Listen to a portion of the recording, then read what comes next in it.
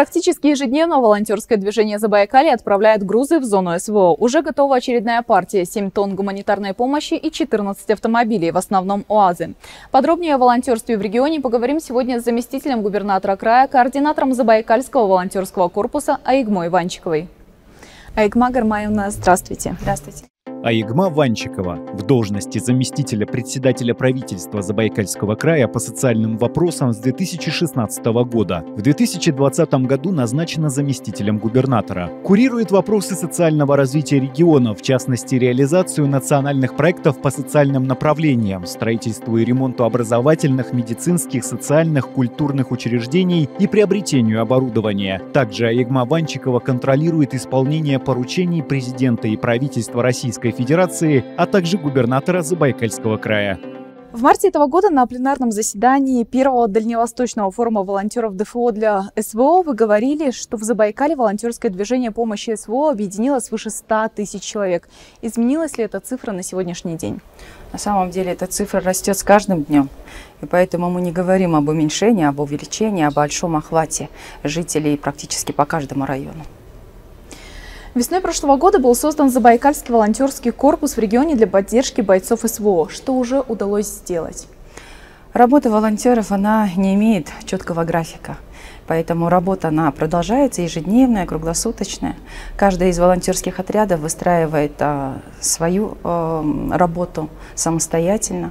Поэтому в зависимости от а, собираемого, так скажем, гуманитарного груза или в зависимости от а, своей производственной сети формируется а, груз который направляется, в какое-то время направляются грузы и ночью, поэтому э, работа, еще раз скажу, что круглосуточная, и наши волонтеры собираются э, в назначенных местах э, определенной, так скажем, локации по, своим, по своей выстроенной уже логистике, где-то в каких-то местах происходят отгрузы, ну и поэтому такая постоянная круглосуточная работа. Волонтерская сеть затрагивает весь Забайкальский край, да. правильно я понимаю? Да. Все районы? Все районы. В каждом районе созданы отряды. 102 отряда у нас было это по состоянию как раз на проведение форума. На сегодняшний день это уже более 110 отрядов. Поэтому, кстати, вовлекаются в процесс, что, э, так скажем, очень важно. Это подрастающее поколение.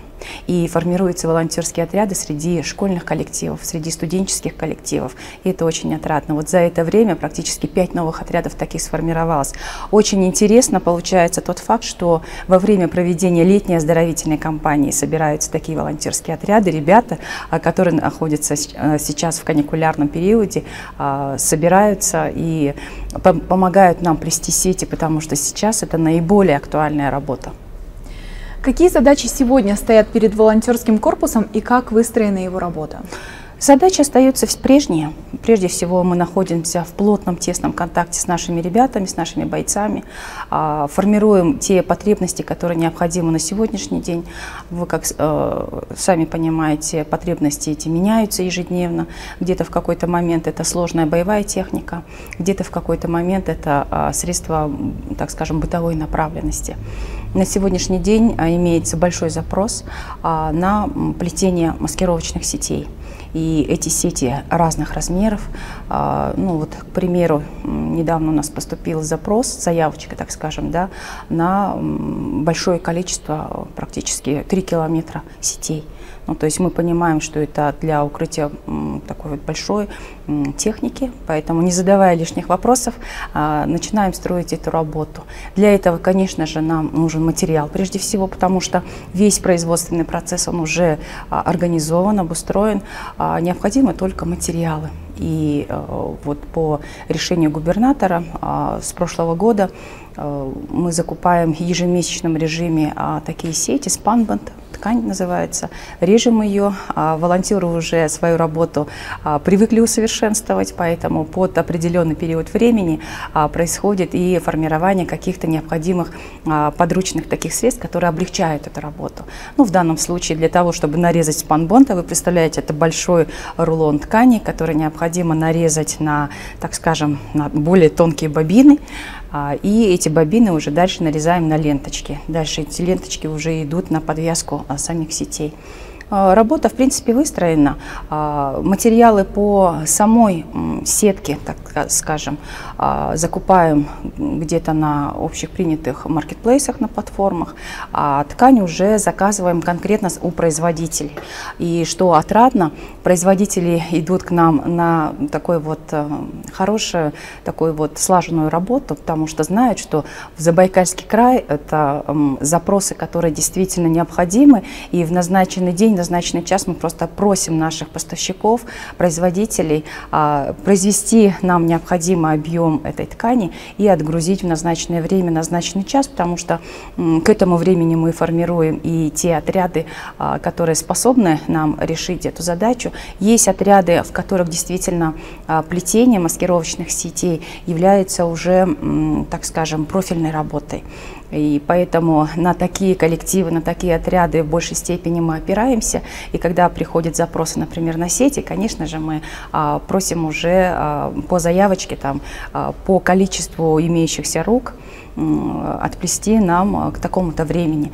Есть, ну, как вы понимаете, да, специализация труда, она происходит в любом рабочем коллективе, поэтому наш Забайкальский волонтерский корпус, он уже имеет такую совершенно определенную, совершенно обоснованную специализацию труда, и в зависимости от э, времени года, от э, сезона э, мы заливаем где-то свечи, вы знаете, да, вот и на вашем, в эфире вашего телеканала а, зачастую проходит информация о волонтерском, Забайкальском волонтерском корпусе. Спасибо вам огромное об освещении этой работы, потому что а, это огромный коллектив. И, конечно же, как любой человек, а, всем достаточно приятно слышать информацию о том, что эта работа полезная, самое главное, нужная и востребованная нашими боевыми товарищами.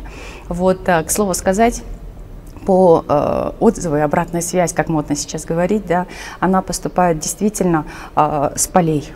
И ребята действительно говорят от души слова благодарности о том, что а, доставлены сети вот, ну, к какому-то определенному трудному моменту. И если сеть спасает хотя бы одного нашего забайкальца, для нас это очень важный факт, и мы всегда радуемся в своих, а, так скажем, социальных сетях о том, когда к нам приходят теплые приветы и благодарности от того, что мы отправили, наш груз получен, и он действительно приносит пользу и, самое главное, приближает победу. А как проходит координация вот запросов того, что нужно бойцам, и как это доходит до волонтеров? Есть ли какие-то координаторы? Координаторы есть у нас. И я вот касалась специализации производственной, а есть еще у нас специализация, так скажем, организационная. То есть поступает заявка, а, заявочки эти а, закидываются, так скажем, ко мне. А, я ее переправляю в 29-ю армию. 29-я армия работает с этой заявкой по необходимости направления именно этой техники или каких-либо средств конкретному подразделению. И если мы уже в этот момент, ну покуда это постоянный процесс, чтобы не было такого перекреста, что отгрузили вчера, Заявочка поступила сегодня практически на тот же ассортимент. При этом мы понимаем, что другие подразделения еще не получали. Поэтому вот, вот эту координацию, она проходит э, на моей площадке с помощью моих э, боевых э, товарищей, друзей, волонтеров и, соответственно, в, в плотном контакте с 29-й армией. Поэтому нет такого дубляжа, так скажем. А, все грузы отправляются строго по необходимости, востребованности а, тех боевых действий, локация которых на сегодня наиболее более а, требует такого нашего тылового внимания. Правильно ли я понимаю, что волонтеры помимо вот этой физической работы, свечи, маскировочные сети, еще собирают гуманитарный груз, в том числе и с помощью населения? Да, это обязательный процесс. И он такой, скажем, а, так скажем, э, краеугольный камень имеет, потому что э, востребованность помощи у населения, она достаточно высокая. И, как показал форум, наш э, Дальневосточный волонтерский форум, идея того, что в этой работе участвует практически все население Забайкальского края, оно было широко поддержано и освещено даже среди самих волонтеров из других субъектов вот такой вот отклик мы получили, что именно а, Забайкальский корпус, а, именно волонтерский корпус, а, ну так скажем, э, гремит а, своей работой по всей России. Для нас это очень важно. И в этой работе участвует действительно все население Забайкальского края. И помощь, она приходит самая неожиданная. А, если мы говорили о том, что участвуют в формировании гуманитарных грузов а, где-то спонсоры, так скажем, да, то на сегодняшний день я могу четко отметить а, слаженную работу всего населения и различных производственных предприятий, так скажем. То есть это уже и не только организованные коллективы где-то формируют финансовую помощь и закупают, а это еще и производственные цеха и производственные организации, которые производят тот или иной вид продукции, при этом а, обязательная форма а, участия в такой большой, так скажем, благотворительной акции, да, формирование а, какой-то части производимой продукции и а, отправка их в зону проведения специальной военной операции. Этот факт есть. Продолжает ли действовать акция с теплом из Забайкалья, когда бойцам э, зимой, например, отправляли из Забайкалья замороженные бузы? И расскажите, пожалуйста, подробнее о ней. А, да, эта акция, она совершенно уникальная для вообще территории Российской Федерации. Потому что, ну, понятно, что бузы – это наш национальный продукт, это э, национальный продукт Забайкальского края. Поэтому, э, как вы понимаете, формирование его легче происходит в холодное время года. Поэтому в дни проведения Сагалгана, а Сагалган – это месяц, э, поэтому э, в тот период мы отправляем, вот, э, формируем такие грузы.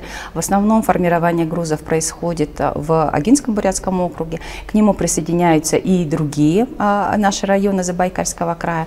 А, вот последняя акция проходила тоже, вы знаете, вот на таком высоком уровне не только организации, но и самое главное сбора. То есть в сборе участвовало практически все население, а, отправляли. А самый главный факт, я вам расскажу, знаете, вот сегодня уже июль месяц, да, Буквально на прошлой неделе состоялась встреча волонтерского корпуса и жителей села Домна а, с героем Российской Федерации, а, с гвардией подполковником Литвиновым. Он приехал а, в отпуск сейчас и встречался с нами вместе с волонтерами, с жителями села Домна, рассказывал о ну, текущей политической ситуации, о той необходимой работе, которую проводят волонтеры.